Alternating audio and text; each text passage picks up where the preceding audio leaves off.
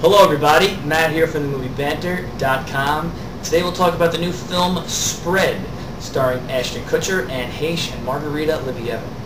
Uh, the film uh, is about Kutcher, who plays a womanizing prick, uh, and he pretty much has no job, no home, no nothing. He's a pathetic loser, and he relies on his ability to pick up women to crash and stay the night at their place. Uh, Anne Heche plays like a sugar mama, 40-year-old lawyer, beautiful. She looks unbelievable in this movie. Uh, if anyone has ever doubted her looks, go see this movie and then talk to me. She's a gorgeous woman.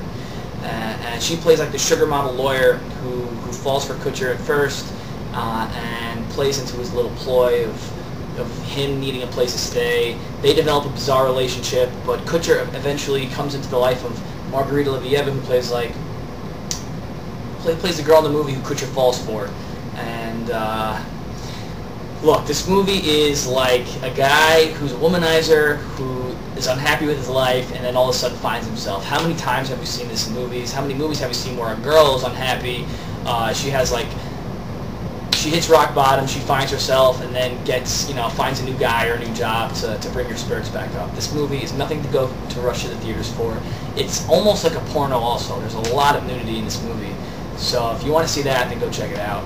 Um, if not, don't waste your time.